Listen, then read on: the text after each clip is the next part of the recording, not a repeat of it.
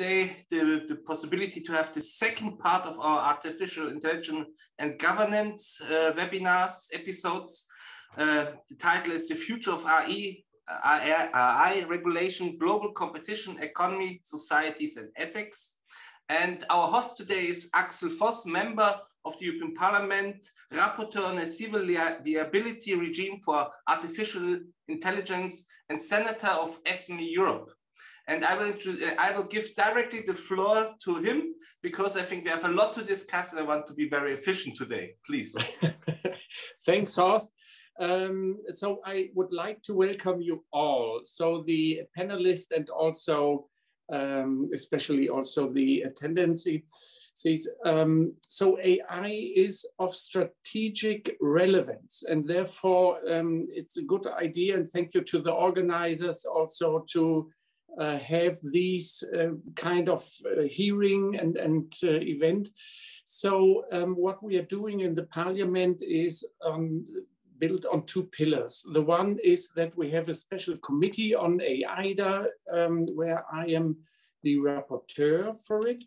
And uh, secondly, we have now the legislative proposal by the Commission, where we are, as always, in these digital files, files fighting uh, because of the competences of the committees. And um, so what I still think the intention of this proposal is more to get a general frame so that I would say there's no specifications for the digital single market, no speci specifications for the industry. It's a general approach on AI. And therefore, um, I'm totally not satisfied with the decision so far, what is taken by the referral unit of the parliament and um, for the competences of AI. But um, we have to have in mind AI is a very big step forward to our future. We have to have in mind that there are some preconditions what we have to work on, like infrastructure, data, investment, etc. And um, here, therefore, I'm very much welcome also my former colleague Michal Boni, and he's presenting also today um, kind of an uh, evaluation and, and uh, situation and gives us some ideas. But thanks once again also to all other panelists. And, and you might think AI is more a female topic. And then if you're thinking this, you are right, um, as you can see on our panel. And uh, so um, let's do here something what that we are not avoiding AI systems in the future, even if this is high risk. So we have to find a good approach to it, a balanced approach to it, and let's focus on these high risk AI systems um, in the regulation. So um, I hope then we might have a good start also in Europe with the AI developments. So all the best for you and thanks for having you also here on our event. Thank you very much, Axel, for this introduction to a very complicated topic also. I think there we have a lot to discuss and also uh, because so many uh, aspects of our society's economy are touched and I think this is the starting point for a discussion and uh, we will have also a lot of try and errors also here. But I think for this, we have also uh, studies like artificial intelligence and governance going behind ethics by Michael Boni to analyze it and to find ways how to make a good regulation who, who we can trust in AI, but also can use the chances. Please, Michael Boni, the first Minister of Digital Affairs in uh, Central East Europe from 2011 14, member of the European Parliament, former member of the European Parliament, and senator of SME Europe. Please, the floor is yours. Thank you very much, Horst, and uh, thank you very much, Axel. Uh, you have said that uh, AI uh, have uh, some kind of strategic relevance. I think it's it's very very important to understand it because it's crucial and it's our European challenge. I want to emphasize the need to understand and uh, develop uh, the complexity of AI ecosystem, which is crucial to build uh, the EU competitive advantages. You can see uh, the graph because I don't want to present uh, many slides. This is only one graph. The next, please. Okay. Uh, you can see the graph, uh, which is related to my report done for the Martens Center on artificial intelligence and governance going beyond ethics. And uh, some points important for the uh, draft regulation presented in April by the European Commission. What is needed for the AI ecosystem development? Holistic view on many dimensions of AI functioning and growth. Understanding all interconnections and interdependencies visible between many aspects, as you can see on the graph, uh, of uh, uh, AI development, as for example, risk-based approach, meeting principle-based approach, or as, uh, for instance, between regulations broader than on AI related to machinery directive, product liability, etc., and practical implementation and uh, uh, uh, democratic oversight. And the third need, uh, focus on harmonization, the way to establish global standards based on those worked out in the EU and make European AI solutions the global reference point is harmonization, full EU harmonization as the first step to make it global. Uh, it's the way to avoid uh, fragmentation at this area. One of the very often discussed key topic is related to the trustworthiness uh, of AI solutions. In this context, we have to ask what are the trust builders for AI development? In my view, there are sensible trust builders. Firstly, human-centric, human-based approach, which requires to base AI systems on principles related to the fundamental rights and ethical approach, non-discriminatory models of algorithmic sequences, avoidance of hidden biases, and more transparent patterns for automated decision-making processes. Secondly, solving the problem of the deficit of transparent information how AI works, which requires instruments allowing to avoid asymmetry of information between users, business type and individual type, and AI providers. Tools for making explainability practically workable. So it should be addressed to the different kinds of participants with various levels of needed information addressed to the users, to the insurance investigators in the case of incidents, uh, to the certification authorities as a part of conformity assessment, to the scientists. It is crucial to give them access to the knowledge how AI works and what are the key drivers of many functionalities as we want to have scientists as supporters and participants of constant AI development in the European Union. Thirdly, uh, guarantees of the accessibility and quality of data necessary for AI feeding processes. It is important for data control-based approach, as you can see, needed for users with architecture, how to uh, control their own data also for building the data sharing models under clear conditions and for making risk-based approach much more implementable. It should be done in the light of data spaces development in the European Union. Fourthly, risk-based approach, as you can see, is the core of the uh, European view on the AI development with the pyramid of risks establishment, in addition, I want to ask how to evaluate the adequacy of this model vis-a-vis -vis the list of sectors and concrete cases taken into account. Also important, the tools for risk management described in the draft regulation, the focus on high risk systems as Axel expressed, uh, only 10 to 15% of uh, all uh, AI uh, based solutions in the European Union are high risk. It is key for some areas, for example, healthcare systems. And fifthly, uh, there are challenges of using risk-based approach proposed by the European Commission, especially when we want to encourage SMEs and startups to create and develop artificial intelligence, whether all kinds of companies, uh, AI developers, can be ready to fulfill all requirements for the potentially high risk products, services uh, to be approved in the conformity assessment.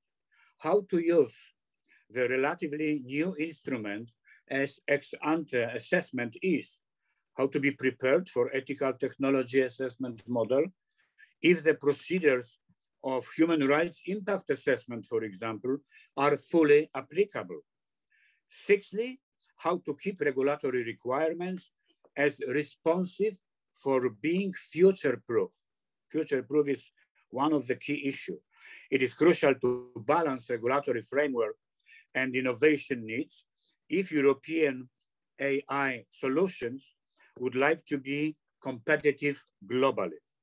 But will the national terms for regulatory sandboxes be the only more open way for unlimited innovation? Seventhly, how to ensure security for all AI products. So how to join the AI agenda with European Union cybersecurity certifications agenda. It should be connected, it's clear. Eighthly, building the trust. Uh, as you see, the trustworthy AI challenge is crucial.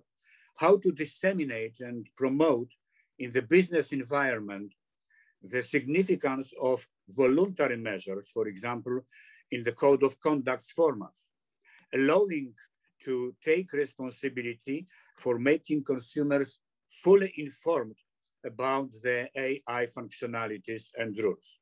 And ninthly, ethical and principle-based approach of AI development indicates the significance of the fundamental rights. But what is important for the sustainable AI growth is also related to the joint perspective.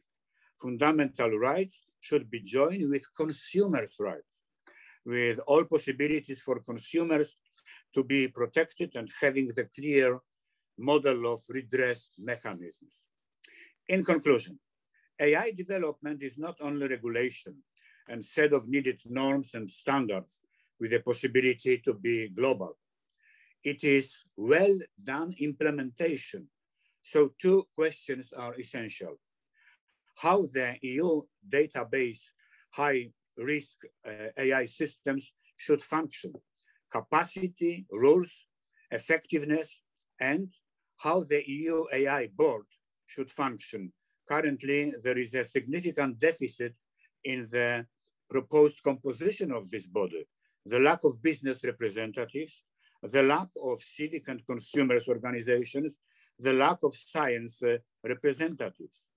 The broader composition should be crucial uh, to make this board more oriented for the future solutions and innovation and playing the role of oversight institution. Why I am asking about the institutional capacity for AI development and regulation implementation, because AI ecosystem, the whole ecosystem, requires governance by law and collaborative oversight. And finally, three remarks which are fundamental in my opinion. One, developing trustworthy AI, we have to guarantee the legal certainty for business it is obvious. Also, the legal certainty and the legislation understandability for users, for consumers, So digital AI literacy is needed. Two, developing AI not only for the current needs, but also for the unknown future needs. We have to review and check if the AI definition used in the draft proposal is the most adequate to be future-proof.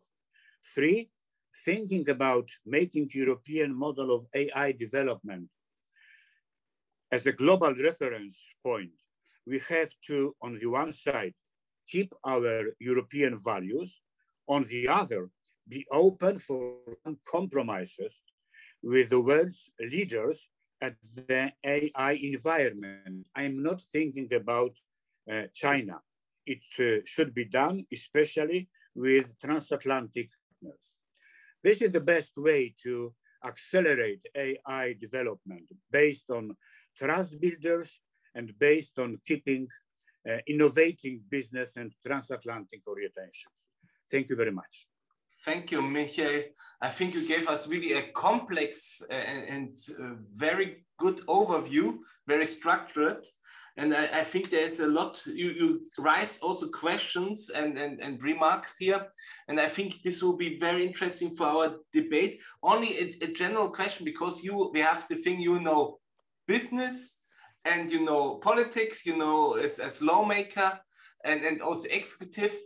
Uh, how we can be so fast as, as, as uh, legislator to adapt so much uh, to something what is so un flexible and, and somehow also unknown. Is this really the instrument? Normally we take two, four years to, to adapt something to develop. How we can we can adjust this? Do we have also to rethink our structures to, to be fit as regulators for the future? Thank you very much, Horst. Uh, uh, Axel mentioned uh, in, the, in uh, his introductory remarks how important is the work in the European Parliament. And it is very important that in the Parliament we have this special committee focused on artificial intelligence. So my view is that, uh, it's my personal view, uh, that if we want to achieve a, a holistic view and uh, prepare the agenda and some kind of roadmap, we need to start with uh, uh, uh, the best agenda for this uh, committee. And all committees, ITRE, IMCO, and so on and so on, JURI should be under the uh, uh, I don't want to say governance, but uh, under the view of this special committee. Because this is the only way to avoid structured conflicts between many different areas and focus on artificial intelligence holistic development.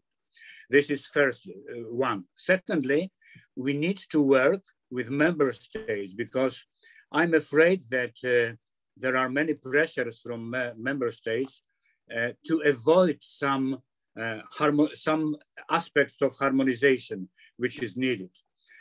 and thirdly, we need to start discussions with uh, uh, on the transatlantic level with our partners, uh, because if we want to avoid the conflict and contradiction between what European Parliament and European institution, institutions will achieve and what is will be developed in the United States and Canada, Japan, South Korea. So we need to start the cooperation at the early stage uh, if we want to achieve and build our future competitive advantages. So good agenda, uh, uh, uh strong cooperation under the view done by the special committee, harmonization and strong work with member states, and of course at the same time work with our partners all over the world without China in my view. Thank you very much. And now we're coming to the debate. This is a, a reflection what we heard from Michael and Axel, and also perhaps new perspectives uh, to the discussion. And we're starting with Eline Chivot, Senior Advisor on Digital Policy of the EPP. Please, the floor is yours you, Horst, and, and, and, thank you to SME Europe and MEP Axel Voss for his uh, invitation and, and energy and work on the future of our digital economy. So it's great to work with you and, and with Michel Boni as well. It's great to be part of this um, conversation today. Michel, you said a lot of the right things, uh, but uh, I'll try to comment still on, uh, on, on, you know where what I what I think is worth mentioning when it comes to the EU uh, AI Act. Um, well, starting from the premise that we cannot afford not to seize the opportunities digital technologies like AI will offer. That if we do not, you know, our competitors will. Uh, and with the AI Act, I think we have a good starting point to, to have this overall advanced strategy that can um, foster the development and the uptake of AI in Europe and address at the same time the, the societal challenges that arise with the technology. And it's important to recognize that new technologies like AI must still improve and they can also have stabilizing effects on our society and our economy, depending on when they're how they're used. And there are risks and concerns, such as the loss of jobs through automation or production of negative discriminations that we must address, but also keeping in mind that progress um, with that technology and allowing it to flourish is what will also help address this problem. So we need clear rules that protect people, but also we need to make sure we enable that progress there was, I think, initially a positive reaction from, from a lot of different stakeholders um, uh, about the AI Act. So I think that suggests there is acceptance that we need some level of regulation and that it can be a positive thing. Uh, I think that was discussed is indeed like, you know, it, it, it's not like a traditional standard setting. So future AI uh, regulation will require expertise, uh, cooperation between public and private sector, and enforcement instruments and, and, mechanisms that are flexible to address, like was mentioned, the um, evolving nature of algorithms and ensure you, you, still have adequate, appropriate, and uh, continuous regulatory revisions. Uh, so I think the Act is the first in terms of trying to, uh, to establish those rules. Of course, they will require clarification. Uh, and that's why the discussions in Parliament indeed are super uh, important and hopefully we'll have uh, you know, agreement among committees very soon so some points for improvements. Um, I mean, again, we've heard a lot from from Michel's presentation, which was great. Um, I think the lack of clarity and legal certainty around the definition of things like also subliminal techniques, uh, that there needs to be more clarification around that. Uh, we also have to make sure, you know, we have existing laws and regulations and, and upcoming legislative proposals that they may affect the AI Act and vice versa. So we also have to anticipate the uh, indirect and, and um, cumulative effects of all regulations to avoid that um, we're just adding more burdens and costs for the development of AI in the EU, especially for SMEs. Uh, and of course, that was mentioned, there are calls to further clarify the definitions of low versus high risk. And why is that important to establish um, that definition is because uh, the AI regulation doesn't exist in isolation. Many existing legislations will fit into this law various sectors are already subject to you know strong uh, protections and legislation. So those identified as high risk uh, would have to be subject to additional requirements potentially, which is not uh, nothing from a business and adaptation point of view. Um, one thing I, I, was recently also discussed this week, um, you know, there are genuine concerns raised by some uh, stakeholders as, as far as the, the impact of AI on, on competitiveness of our company. Of course, uh, the, the act will uh, mean uh, adjustment for, for businesses, um, but that's why we should ensure enough guidance to avoid impractical and redundant requirements. Uh, and of course, there will mean more uh, internal and external quality controls, but it's good to see that there is a degree of self-regulation through self-assessment. Another thing that is very much discussed is how other stakeholders are calling for the ban uh, of some technologies like AI. Um, you know, and, and, you know, I think we've even heard the European data protection supervisors and the board. Uh, um, they find it problematic that apart from social scoring, um, not all, um, you know, all the prohibited uses like biometric surveillance are allowed for, for law enforcement uh, purposes. Now, I think it's important to mention that we must accept that regulating or banning technologies will not solve all issues. And we have to focus on the other issues that affect, um, you know, that address the, the challenges of AI, like education and skills. And we should still develop technologies using protected environments like sandboxes, because otherwise, what will happen is that we will be ceding the market and those technologies to others, to our competitors like China, who tend to build AI systems that reflect the tenets of their regime and value systems. And I haven't heard many Europeans say that they agree with it. Um, now, to, to uh, end up on the number of enabling conditions that I believe um, would be helpful for the EU to make sure its plan works uh, is that we have, you know, streamlined common market uh, better access to funding, fewer impractical regulations. Things like access to visas for highly skilled individuals can also help. Uh, also, legal consistency has to be ensured across the board. Uh, we have to make sure our frameworks don't impede our ability to use data that feed into those AI systems because those systems can help save lives, I've seen during the pandemic. Uh, bears repeating again that we need a, a common uh, um, markets, capital, uh, capitals markets.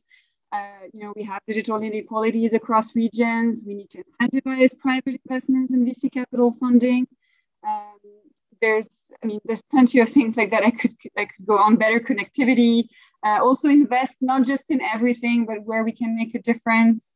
Um, and ensure also no disruptions to uh, the flow of data, uh, you know, within the EU and beyond, so that we can ensure we have access to high quality data sets, robust data sets, which AI and the AI Act demands. Uh, so, you know, and that all again requires more computer capabilities like semiconductors that can enable algorithms to store, run, and test data. That is also part of the EU plans with the digital decade objective. So everything is sort of connected. Um, and I think one point that was mentioned that I really like to say, it's not very popular because it's a long-term thing. We have to involve the public to socialize them to the risks and opportunities of AI. Different categories of people have different levels of trust, different um, access to recourse. And their support is actually going to be a really big part of how we get to use uh, AI responsibly with everyone's vigilance and awareness, uh, for instance, with human machine teaming and work environment, so their general AI competence is really important. We'll get back to the, the fact that we also have a technology adoption problem on the side of companies that has to be solved.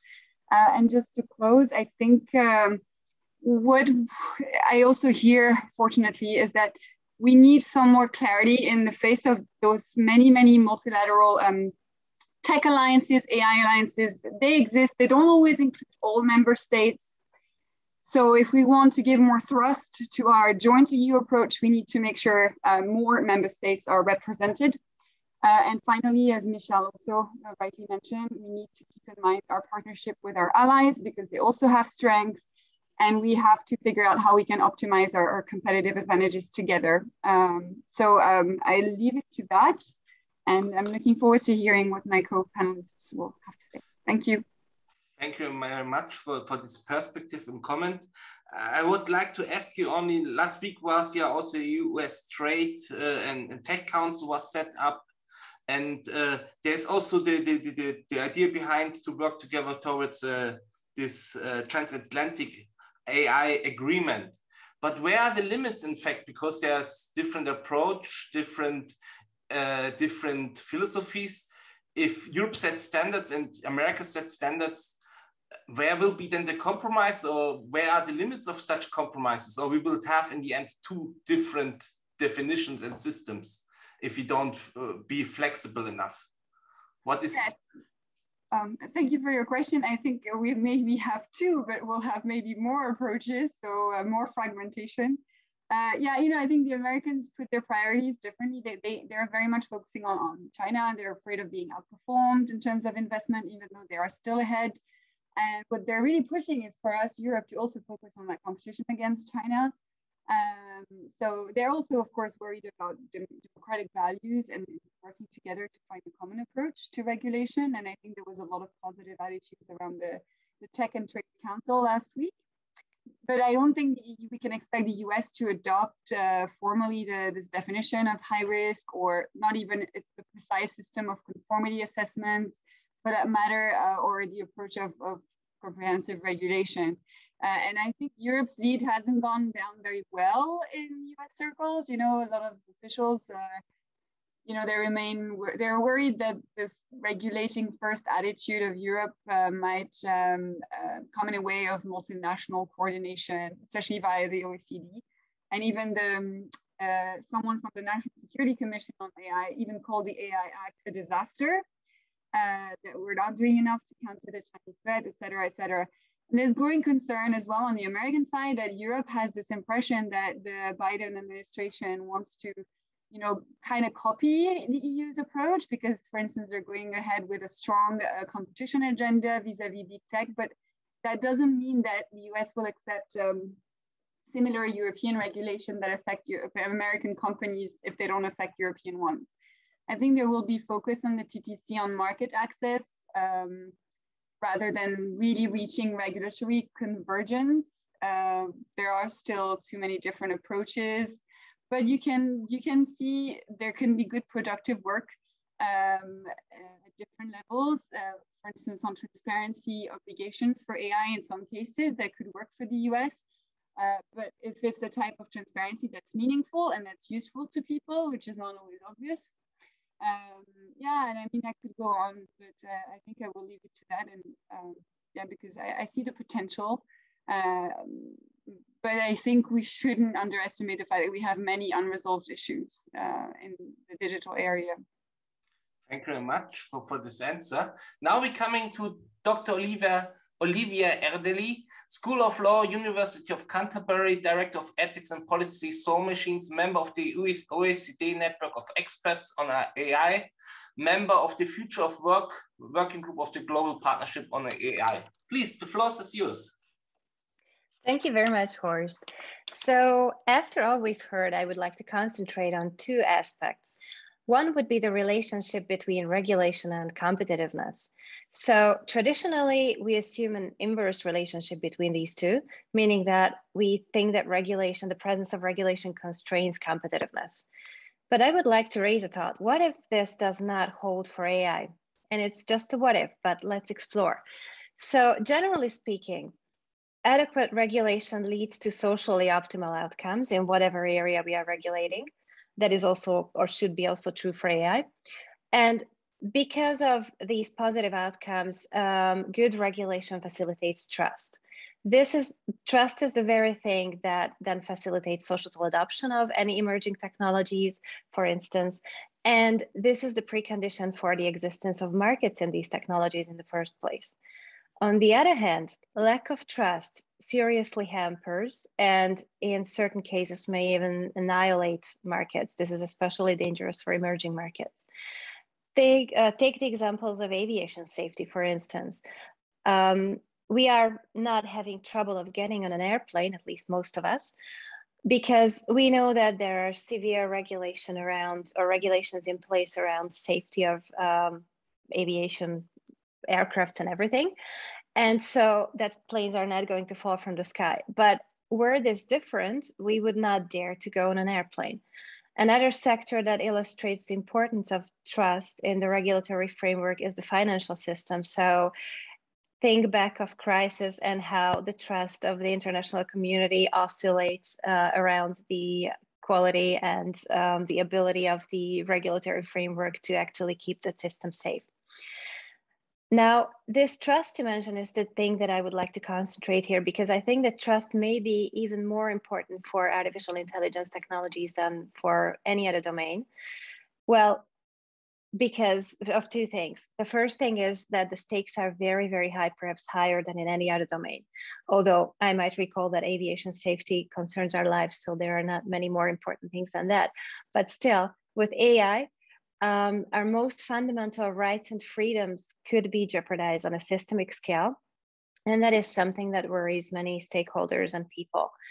The other thing that compounds these problems is uncertainty because we the, both the nature and the magnitude of any potential social impacts uh, that stem from ai are not really fully understood at this juncture so we have this uncertainty of um, yeah around how AI will impact us. And due to these things, I have the perception that user preferences are perhaps shifting to AI systems that do comply with the highest regulatory standards. So it is customers that come to companies with questions like, all right, do you have a system that actually complies with um, minimal minimum transparency requirements or with um, the GDPR privacy requirements, even though, and, and these may be customers and companies that are not even situated in the EU or, or trading directly with the EU, um, such as the importance of the GDPR, for instance. And so if users uh, users prefer AI systems that are safe by some metric and that comply with the highest regulatory standards that are in place, then maybe stricter regulation um, mean more competitiveness rather than less competitiveness. It's just an interesting thing that I think we may want to explore. And so instead of being afraid that we have a new regulatory proposal that has some onerous requirements, because I admit they are onerous already, and uh, the more they are going to be clarified, the more onerous they will become probably. But still, um, if that is what users wish the AI systems to comply with, then we may see a competitive advantage in complying with these requirements and in having such regulation in place in the European Union. Um, a second point that I want to uh, talk about is um, that so far we have concentrated on the quality of the regulatory framework around AI systems. And what if the regulatory quality itself is not our key problem? So one other problem that I see with respect to the EU is a consistent lack of consensus among member states. So I believe that member states are not working together enough. And I also believe that we must get over our national differences and stand as a unit if we want to achieve good regulation or anything for that matter. Another thing that is a more pervasive problem and goes well beyond the European Union are relatively low moral standards and a general lack of respect for the rule of law. So the starting point here is that even the best regulatory framework cannot regulate everything. Therefore, much depends on the ethical judgment of both individuals, corporations, and even governments. And if we are looking into news headlines, one scandal follows the other. So we have a problem there. And the last point I want to raise is that the public's key concerns are usually centered around power concentration with or abuse by abuse of power by uh, big tech companies, which is yes one of uh, the perils that we are facing with AI innovation. But fewer people ask about governments. So I'm asking, what about abuse of power by governments? Think of routine strategic misinformation that we have experienced by on the part of governments to foster usually short-term political objectives. Think also of how, amplify, uh, how AI technologies may amplify these problems. So then maybe it is time to do something about that. And I would just leave that to the floor. And uh, thank you for your attention. And I think we can debate some of the questions that every one of us has uh, raised so far. Thank you very much for this interesting perspective at the end, especially that we have also to think about our governments if you're discussing this not only to regulate big techs.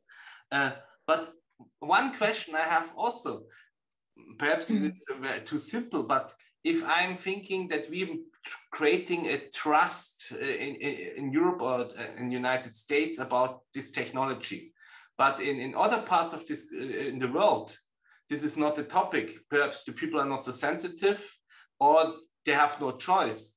If these two systems of, of technologies are competing and the others have no limits and we have limits, is this a now, a, is where is there the part of the competition? If I have the access to nearly all data, and on the other hand, I have a very limited access to data for my technology and artificial intelligence. Is there a, what is the, the competition between these systems? Do we use then in the end artificial technologies from Asia who has not this ethic trust limits than in Europe? And nobody is using outside Europe the trusted artificial intelligence in other parts of the world? Well, I understand where that concern is coming from. And um, there is, I think there are two aspects to consider here. One is what the public wants and what people want mm-hmm. general, mm. like individuals.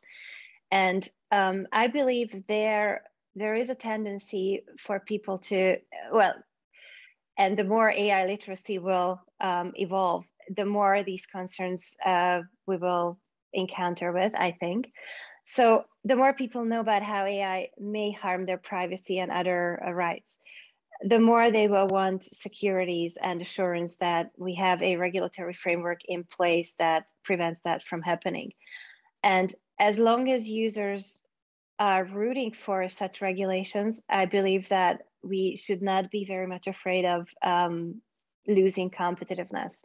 The other aspect is that you mentioned that competition between various regulatory regimes. And um, well, that's a whole different story. And I think it's going to boil down to international political power constellations. And I can't predict the outcome of those. But I think the core question that we have to ask ourselves is what freedoms, what core societal values we want to protect, and in answering that question, what kind of AI systems do we want to allow to function in our societies?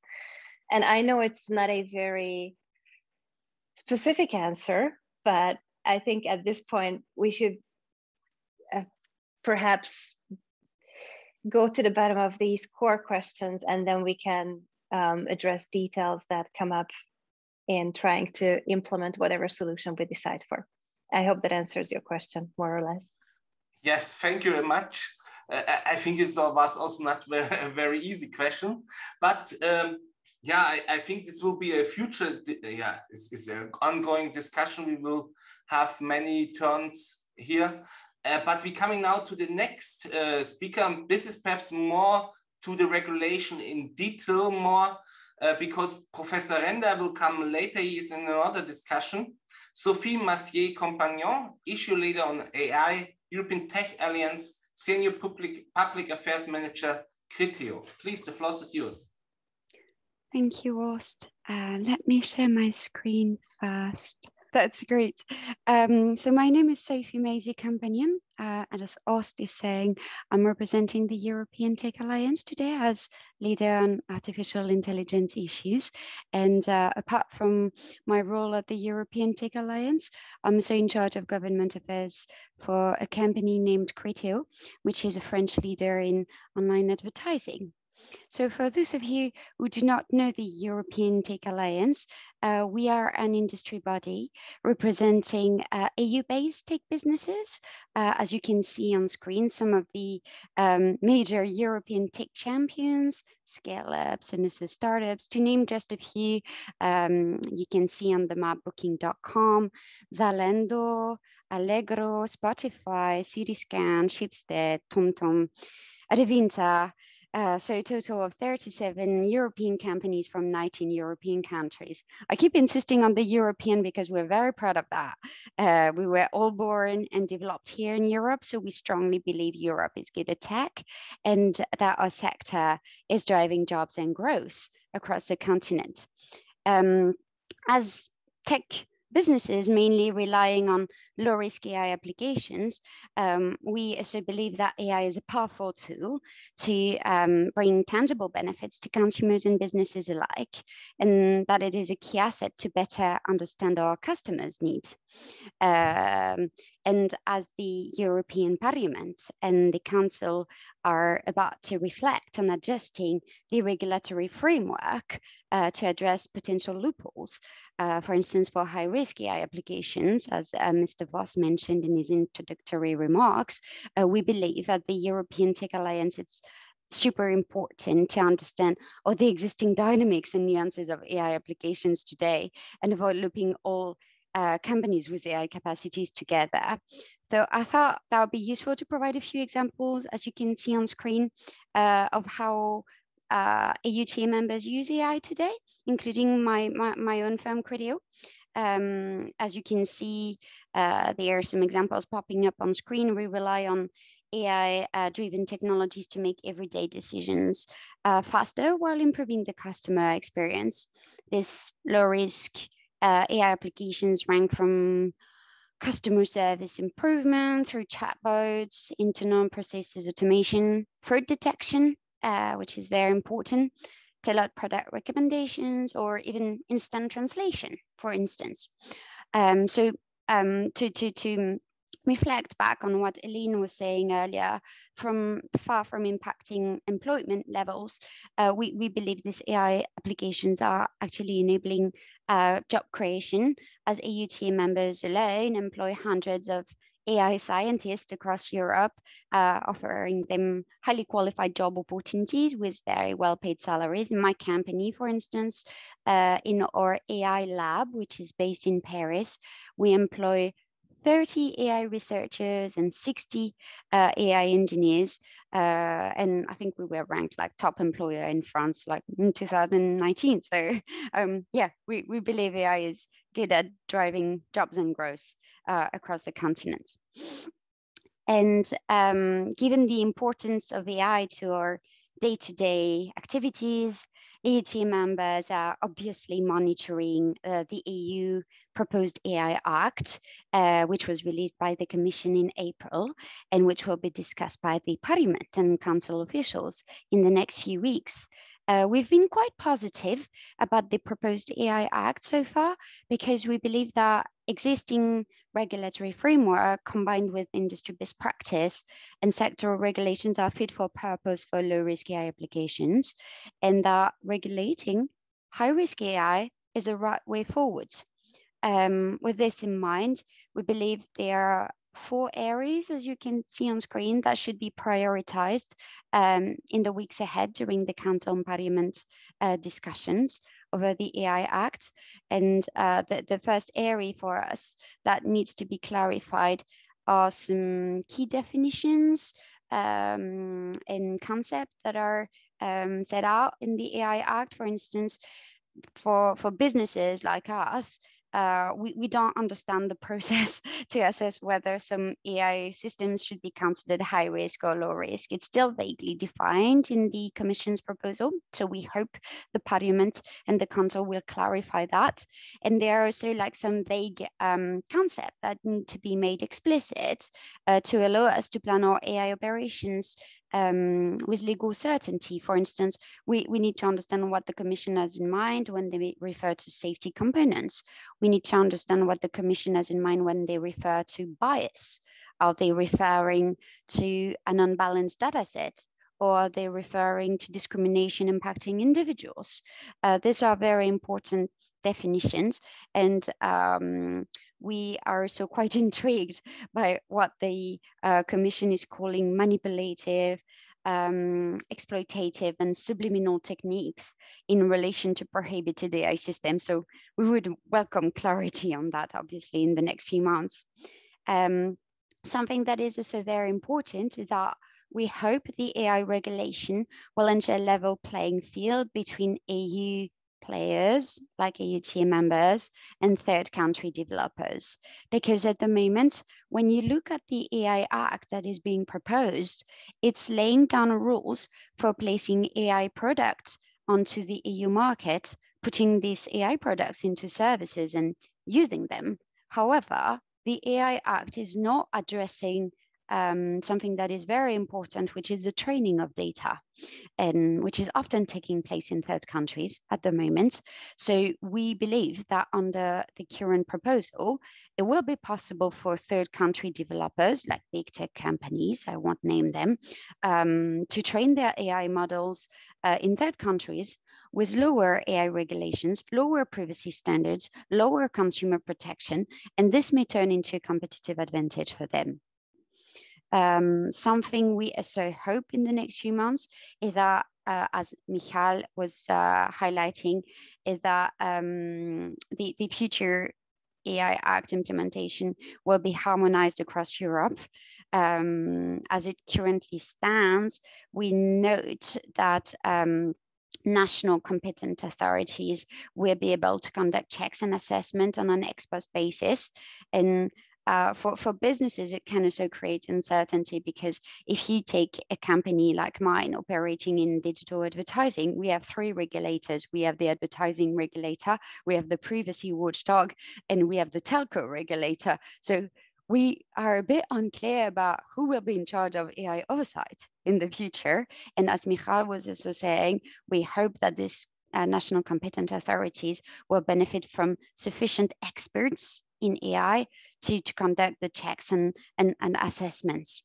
Uh, last but not least, we uh, agree with the proposed AI Act that codes of conduct for regulating, sorry, regulating low-risk AI applications are the right way forward.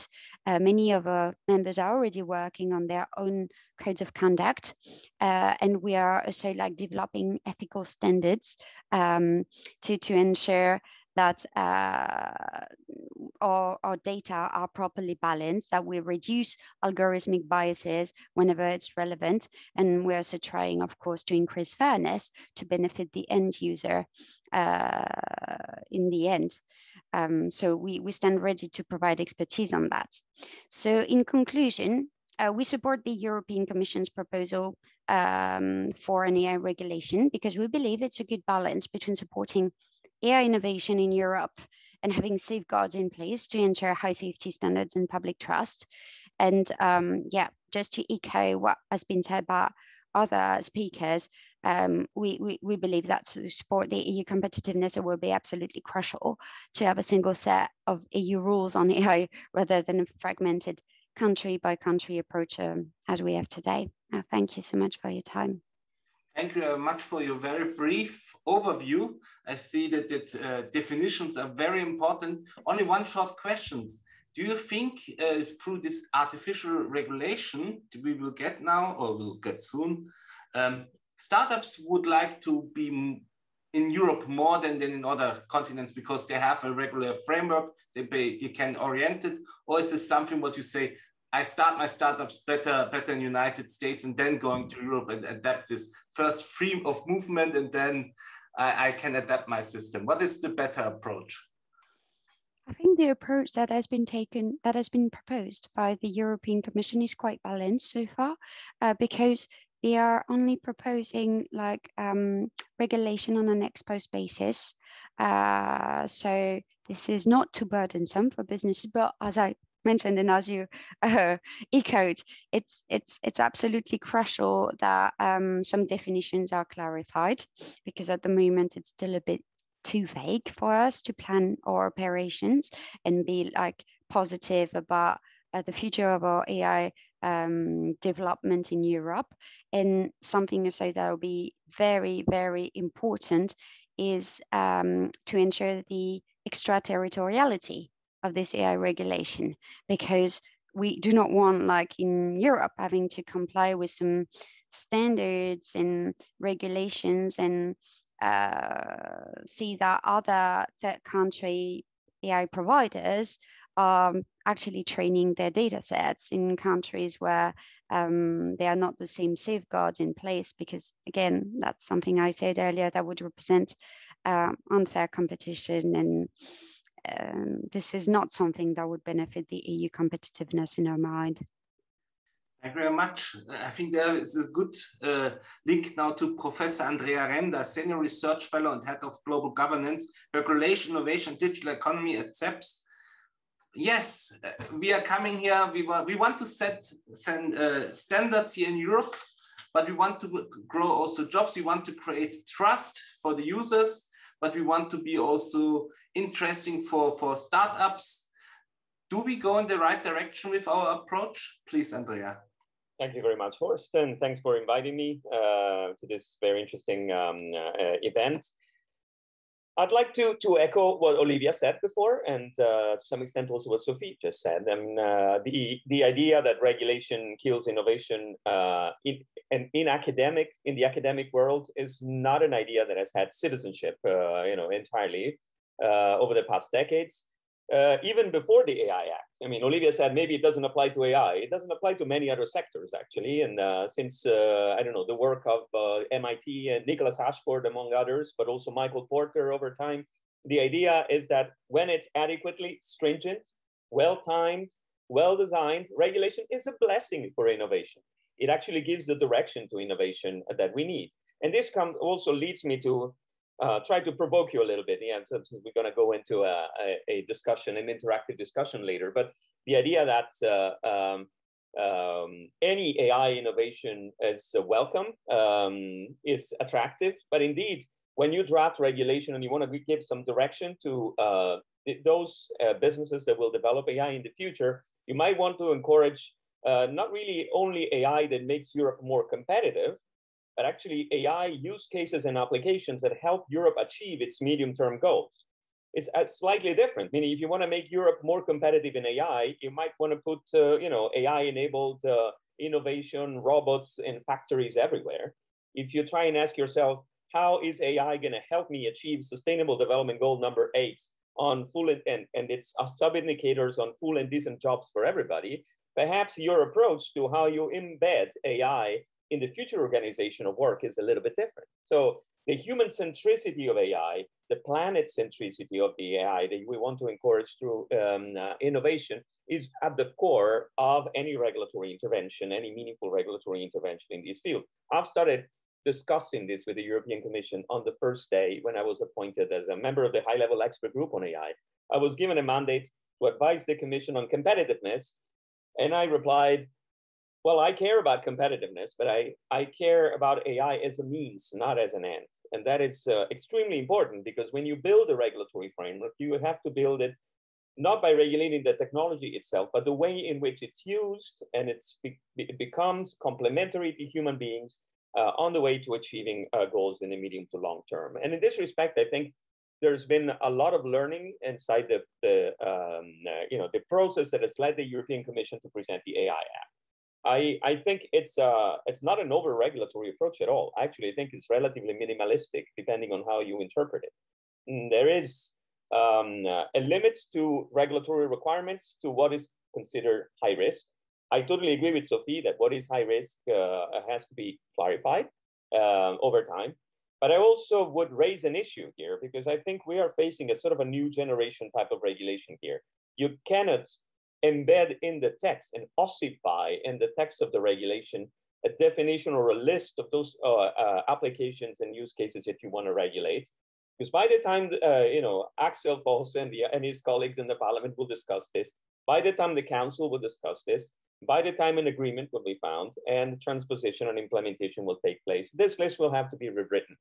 So what I'm saying is the AI, AI Act is not extremely prescriptive and precise and maybe cannot be at this stage. So we're probably facing a much more co-design approach between the, the commission, the parliament, and the council, which means the ordinary legislative procedure should probably see gradual certainty and clarity being added to the text.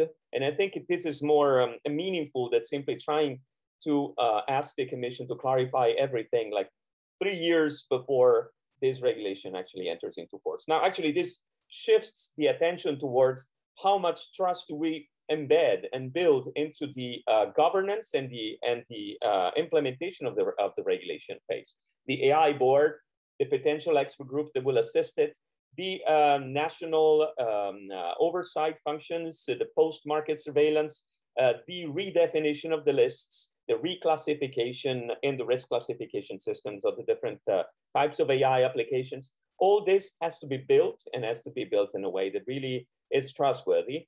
And obviously, the AI Act doesn't go a long way there, and there's going to be a lot of work uh, uh, to be done in Parliament, in Council, but also with the help of all stakeholders over the coming years.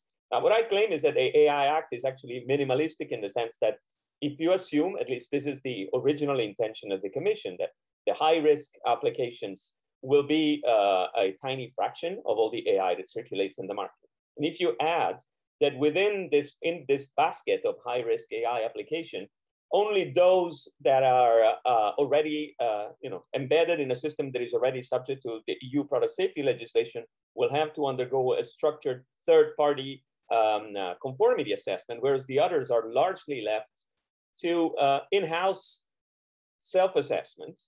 Uh, I don't think this is actually a, a draconian over-regulatory intervention. I actually think that this creates a lot of space in a transnational way for creating uh, standards for conformity assessment that would then adhere to the overall principles and requirements of trustworthy AI, but they don't impose you know, a notified body or a group of third-party experts that chip in and try to observe uh, uh, what uh, uh an AI system should look like and the, and the organizational and governance uh, mitigating measures that it should be accompanied with. So there's a lot to be done that is actually left to um, the ability of companies to find their own way to demonstrate conformity. And if anything, I think Will will be worried in the next three, four years that what we classify as uh, low risk when interacting with other AI systems might actually generate risks. So the uh, missing bit, which is the, the liability bit that will come later this year, is indeed super important because in most cases, the problems and the risks for fundamental rights and safety will be risks that will emerge in the market and they will require an attribution of liability, which will be far from easy. If you, if you look at the examples that we already had, uh, for example, uh, in, the, in connected vehicles, when uh, um, the Uber uh, managed Volvo car had this accident in Tempe, Arizona a couple of years ago, it took months and months to understand who was actually liable for that. The LiDAR sensor, the camera producer, the operating system producer, the AI developer, the lady that was sitting in the car ready to, to grab the wheel. And in the end, the result was not really satisfactory, right? Um, indeed, um, echoing also, again, what Olivia was saying before about um, uh, um, aviation, uh, it's obviously we place a lot of trust in aviation, but we also must recognize that perhaps the lack of trust in aviation that we've had lately was due to AI, because there have been a couple of cases in which we have not well uh, designed the interaction between man and machine, and AI has become basically impossible to overrule. If you think about what happened with the um, Boeing uh, Boeing 737 Max 8 uh, accidents, right? So indeed, the fact that uh, we want to codify a number of uh, principles and requirements that have to be followed, especially when the, the corresponding risk is significant, and that we want to give more regulatory certainty as to how these requirements, you know, what these requirements look like, and what could be potential procedures to show adherence to those requirements, I think can only add trust in, uh, in the overall uh, uh, system and perhaps incentivize innovation. Ob obviously, um, uh, there's always a risk that uh, uh, in, in sort of designing and developing these standards, something goes wrong, and then you know the language spoken by the future AI Act will not be the same language spoken by the startups or the or the developers. So Sophie's constructive comments, I think, are extremely important. But also going forward, that you you you shouldn't be tired of uh, of uh, proposing solutions because then the next two three years this uh, solutions will uh, will be increasingly important. So um, I think the fact that there might be a sort of uh, a little bit of a distance between what is in the regulation, what happens in the real world, or the ability and the agility of the future AI board and what happens in the market and the challenges that are faced by developers. These are problems that we can only uh, envisage, anticipate, but we are not sure that we will solve them in due time. So it is a very difficult piece of regulation.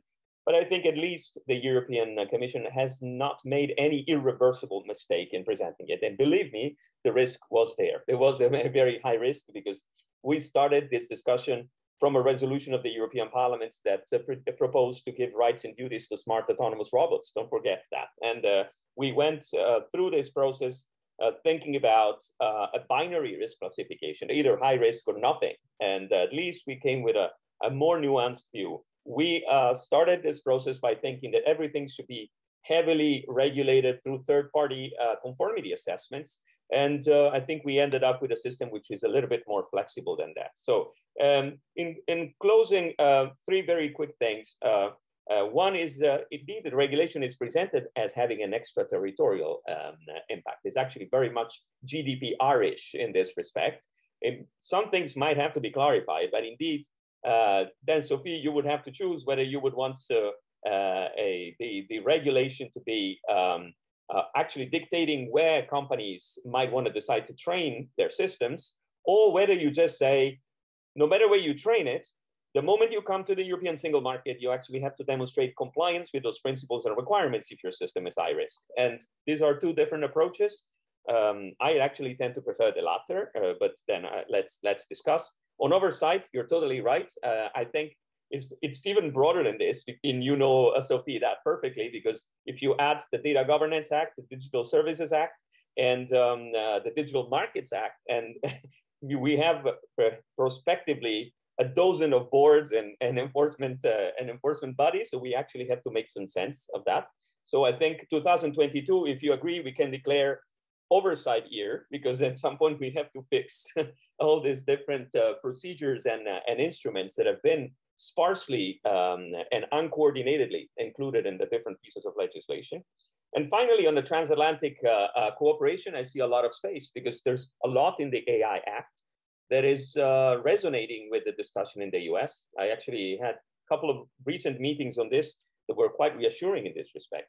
From the definition of AI uh, to the uh, uh, principles-based approach to AI, so agreement on the principles, to the agreement on the fact that the AI regulatory approach should be risk-based, um, to uh, the uh, potential cooperation on certain risk classifications, including the red lines, to cooperation on sandboxes, so mutual learning, even to um, uh, if those things are somehow converging, potentially in the future, um, uh, cooperation on enforcement and oversight, because resources will not be overabundant to continually monitor this market.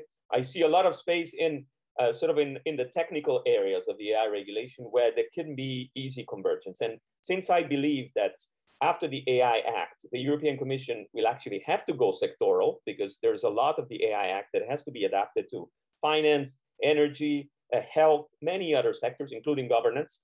This will actually reduce the distance that we have with the US, where the approach to AI has actually taken more the sector specific way in the different agencies and the different federal agencies. So I think what seems to be like two extremes uh, and two sort of opposite uh, approaches, if you wish, will actually become much more similar in the coming years. And I would actually welcome uh, much more cooperation in that respect. So sparse thoughts, and uh, I'm uh, happy to continue this discussion and uh, give back the floor to Horst. Thank you. Thank you very much. This was a very perfect uh, closing of the debate because we're running out of time. And I think we scratched only the surface of the topic uh, because there's so many to say. I would give very short to Michael Boni, a short comment, and then to Axel Voss. And not forget, we make a picture, group picture after this. But I think we have really scratched only the surface. Michael, short, and then Axel, please. Uh, you, you, know, uh, I, I think that it, it was a very perfect, excellent, and inspiring discussion because we have touched not only the problem of regulation, but also implementation.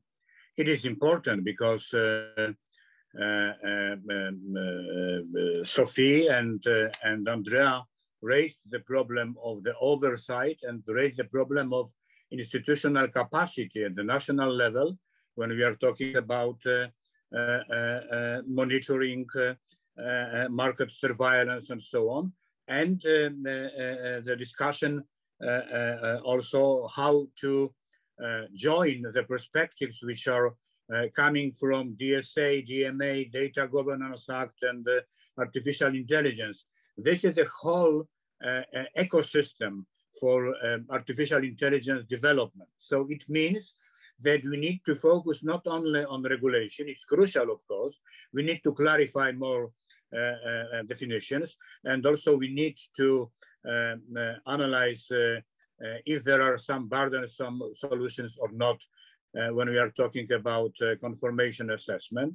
But also what is important, we need to discuss about something new, which is, Andrea raised it, interactive interactions between uh, artificial intelligence systems uh, can create the new threats, new incidents, and the new model of liability uh, is important. So uh, on the one hand, we have regulation and we need to uh, make it much more perfect and uh, adjust it to the incoming solutions, also from technology point of view. On the other hand, we need to work on institutional capacities uh, uh, for member states institutions and European institutions. And also on the other hand, we need to discuss about how to adapt us as users and, and the development of artificial intelligence. The last point is crucial when we are talking that regulation is important, that implementation is important, we need also to raise the problem of our uh, Uh, AI uh, uh, digital literacy. Because without our understanding, without our awareness, uh, uh we will lose the, the participation of all of us and it will be also the barrier in creating the trust. So, you know, many things to do, but on the other hand, we need to go in the same time with new challenges because this is not a finished solution. Yes, uh, we are not uh, regulating artificial intelligence. We uh, want to create the new model of functioning of artificial intelligence changing every day. Thank you very much. And now Axel Voss, please, Axel. Horst, thanks a lot. I'm, I think you're looking a little bit nervous because of the timing. Um, that's why I try to be very brief and to, to, thank you all for your contributions. And every contribution has an aspect uh, what I would like to see also adapted in the upcoming uh, regulation. So um, if I have something to do with this uh, piece of legislation at the end, so please sit, let's sit us together and also think about how practical this is, what we are doing and how um, balanced this might be. I'm still asking myself, of course, if we're talking about trust, that this is of course a very important aspect, but we can override it also. So where is the balance?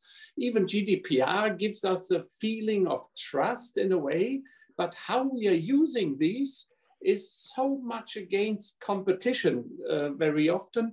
So that is very important to strike this balance.